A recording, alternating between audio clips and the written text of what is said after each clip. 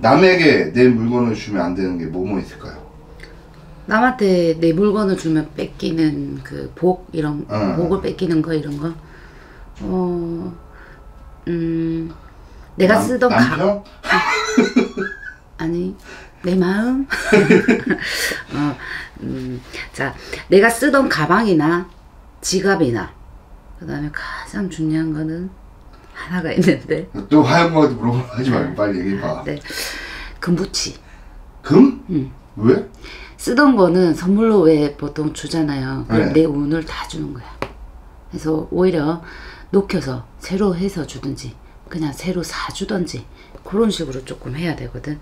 발찌, 판, 뭐 팔찌, 목걸이 이런 거 있잖아. 새 거는 선물을 해도 돼. 근데 내가 쓰던 거를 이렇게 해서 왜 이렇게 주는 거 있잖아. 팔찌나 목걸이나 이렇게 해서 주는 거. 근데 내 운기를 싹 다 주는 거야.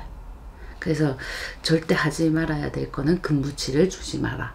라고 얘기해 주고 싶고, 쓰던 지갑을 주는 거는 내 진짜 금전운 다 주는 거야.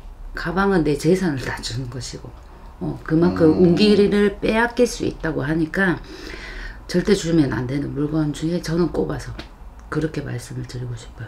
그거 그 외적으로도 많아. 그러니까 그의 반면에 또 왜 우리가 받으면 안 되는 물건들이 있잖아. 그건 다음 편에. 어, 그거는 다음 편을.